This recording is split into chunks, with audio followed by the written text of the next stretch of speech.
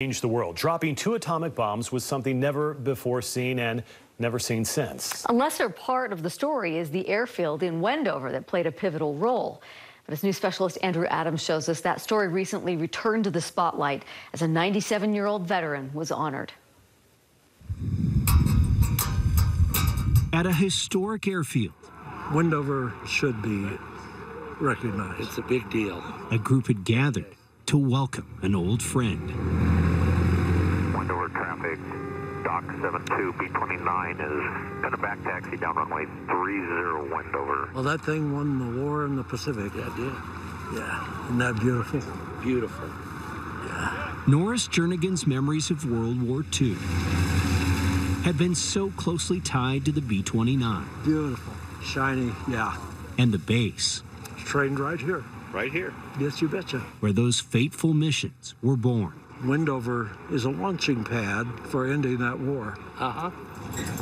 In 1944, Jernigan was a young intelligence clerk who'd just been assigned to this remote outpost. We had been selected to be the bomb squadron of a new group that would be handling a new secret weapon that, if successful, uh, should shorten the war by at least two years.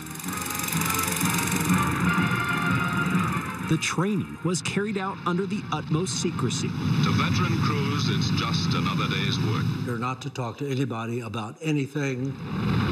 and it prepared the 509th Composite Group for what was to come a year later at Tinian Island. Aircraft number 82 was pulled over the loading pit, and now it had uh, a name on it, Enola Gay. 2:45 a.m. on uh, August 6th, Enola Gay took off from Tinian with the uh, 9,700 bomb in its bomb bay, headed for Hiroshima.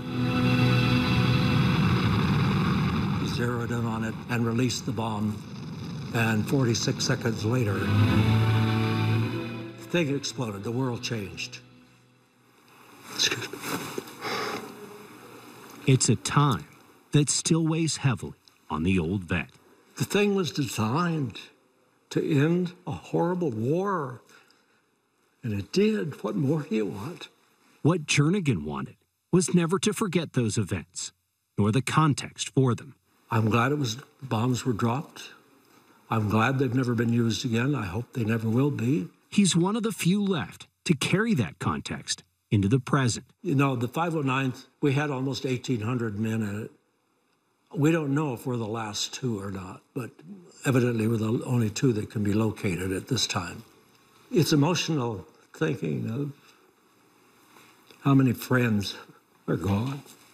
And it was sharing those stories from long ago that brought Jernigan back to his training ground, How old are you, sir? taking a step back into history I'll be 97 in a couple of weeks. by loading up for a flight on Doc. Once you get down in there, it'll be good. You guys ready in the back? We are ready to go. Let's uh, do a pre-flight checklist. The kind of plane that was so pivotal in ending World War II. Right scanner in position. Left scanner in position. Batteries. One, two, three are on. Nobody can change the past, if I can get these big bad boys started here. Two, four, six. But they can relive it. They crank those engines up. I love to hear the sound. They can reflect on it. I'm proud of the fact I was part of it, a small part. We'll spin around at the Can I take the radios? Okay, yeah. Down runway 26 Wendover. 17 souls on board. And they can honor the service members who did what was asked of them, It's just a great thrill. That's all I can say. carrying a legacy ever onward into the future. I hope that um, the uh, story can be continued on. Cab back behind it, just all 6,000. 15 set. Verified 15. We're good to go. This is a historic place. It's just great to come back and remember. Andrew Adams, KSL 5 News.